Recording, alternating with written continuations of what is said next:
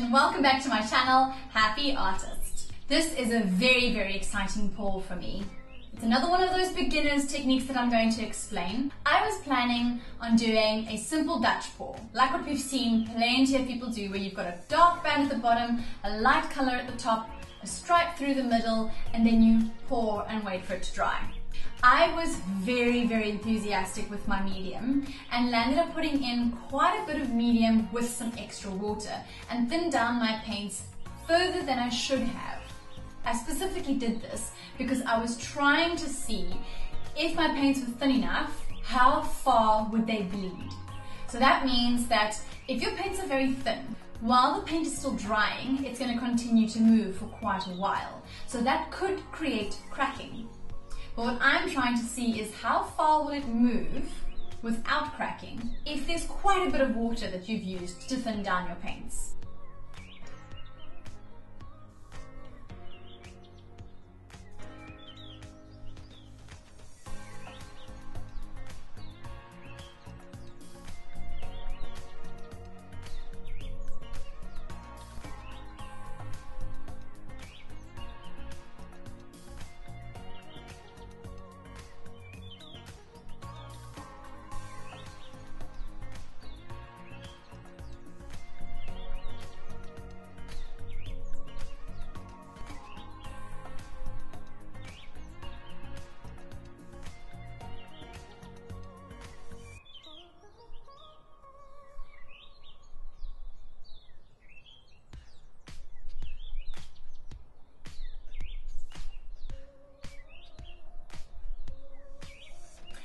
Mentioned in my previous video, you'll see in the description below if you're looking for really good quality pre-mixed acrylic paints. So pouring paints that don't need medium. All you would need to do if you need to thin the paint down even further is a little bit of water.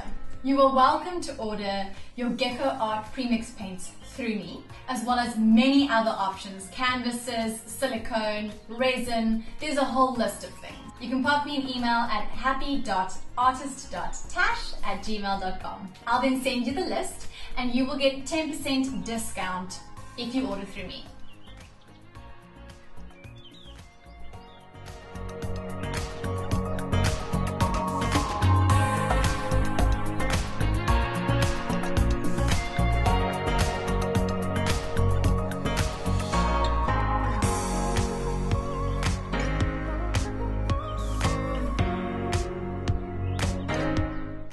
Now all we need to do is add a little bit of both base colors to each side of the line that you've created with the new colors. The reason we need to do this is it assists the line of colors with movement. If you don't have enough paint on the canvas as a base layer, chances are there is so little of the paint that you're using for your colors, it's not going to move very far. So you're wanting them to move not only slightly further across the canvas, but into each other as well. Once you've got that base color down, you do need to blow it over the line that you have created. Again, this is just to assist the colors with their movement.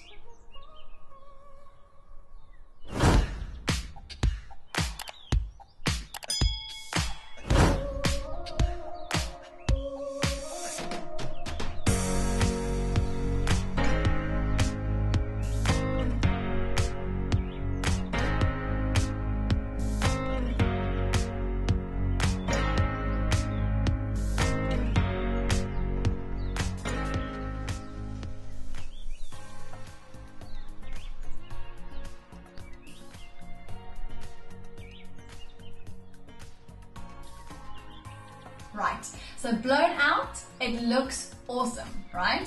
I then put it onto a time lapse just to see if anything would happen. But not much happened in about 15 minutes. So I thought, great, I'm going to take the camera away and I'm going to let this dry and see what happens when I come back in a few hours time. Now, something that I have seen so often is when people show a photo of what it looked like when it was wet and what it looks like now that it's dry and then ask questions about what happened.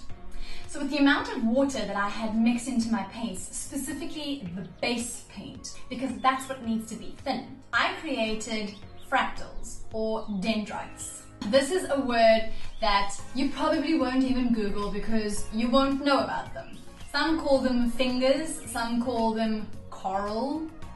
I guess it depends on what you see these images look like. I then put this back onto time lapse and I'm so upset that I missed the beginning of this reaction.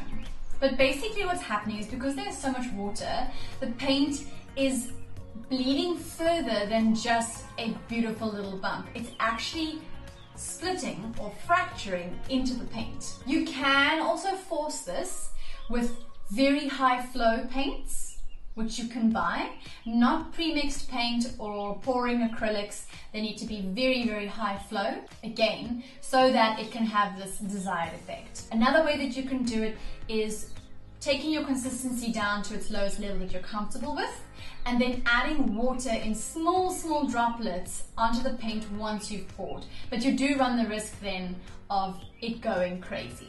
These grew continuously for about three or four hours.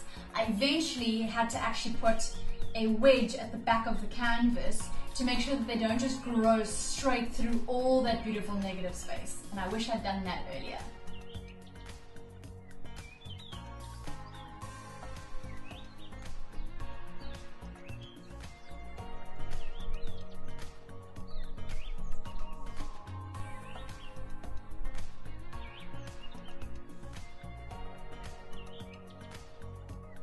And that's as quick and easy as that. So it's a Dutch pour that starts to create fractals or dendrites and it looks to me, as a diver, like a beautiful coral garden. These beautiful gorgonian fans in different colors, because usually they're orangish, growing on this awesome rock face in the ocean. What do you see? Have you tried this technique before and got it right? I hope you have a magical day. Ciao for now! So firstly, because that's what that's thank you for watching.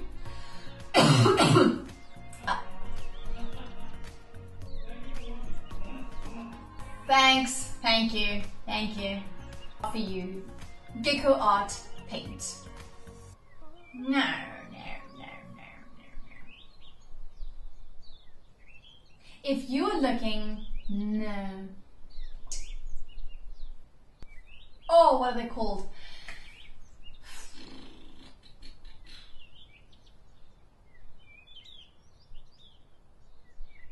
Fractals. I think they're fractals and I've got to go find out.